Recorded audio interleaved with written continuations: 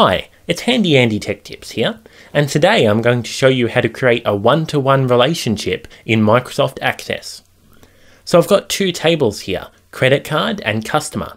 The relationship, according to my entity relationship diagram, the ERD, is that one customer can have one credit card.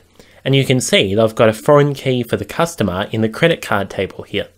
But when I try and create a relationship between these two tables, it defaults to a one-to-many relationship, which is not what I want, and there's no way to change the relationship type from within this dialog.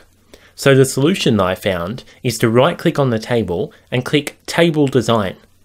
Click on the foreign key field, and down here in the field properties, change the indexed property to yes, no duplicates. Now, when you save the table and try and create the relationship again, it should say one-to-one. I hope you enjoyed this short video. I'm Handy Andy Tech Tips and thank you so much for watching.